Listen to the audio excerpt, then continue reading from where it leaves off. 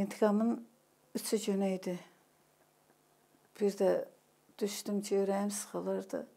Aşağı düşəndə gördüm yoldaşım içi bükülüb qalxa bilmir. Gəlinim, qızlarım elə vəziyyətdə də həkim.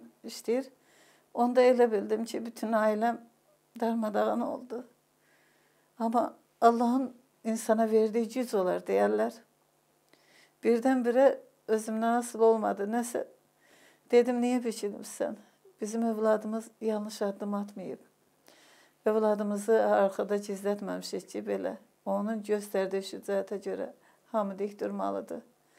Bizim evimizə gələn görməlidir ki, igidin dalında igid durar.